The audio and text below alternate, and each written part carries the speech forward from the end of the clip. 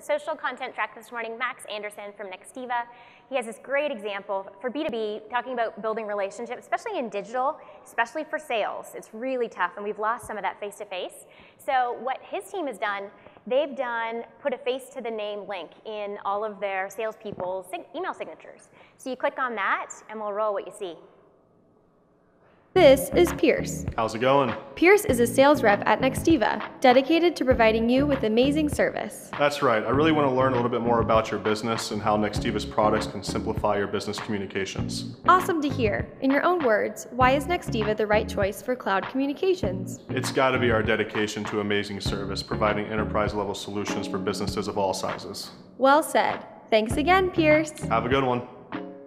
And the great thing about that is clearly Pierce, right? It's pretty unvarnished and, and, and that's, it's just real. So they've gotten a lot more uh, relationships built that way and, uh, and actually some conversions.